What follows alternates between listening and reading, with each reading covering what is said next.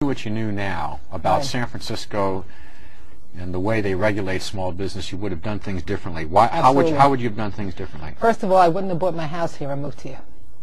You would have chosen somewhere else. Absolutely. I, I moved here because uh, coming from, as you guess, Brooklyn, I want San Francisco reminds me of Brooklyn.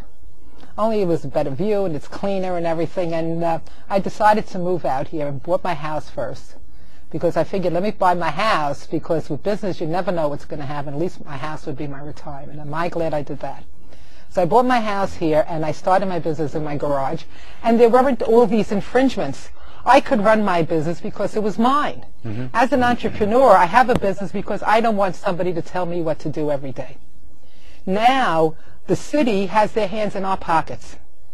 The people, the city thinks that we're the ones making the money. The city says that we're lucky. Where we are today, business owners, luck had nothing to do with it. It's all hard work. We work from the morning we wake up to the time we go to bed at night. And why are we working for? We're working to maintain and grow our business. We're working to take care of our employees and get them hospitalization and sick leave and vacation. We're supplying the rental properties because we take pride in our city. This is our city. We buy homes. We maintain them. But now all of a sudden we're the, we're the enemy. What I don't understand though, which I was talking about last night at one of our meetings, is the apathy of the small business owner.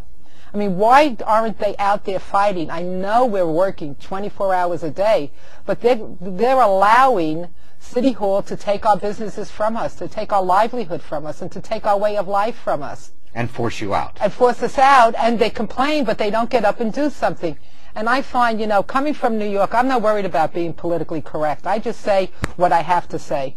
I'm, I put food on my table. Nobody else does. I'm independent. I can do what I want. And that goes for every other small business owner. Why don't they get up there and fight and be vocal and be heard and invest the time?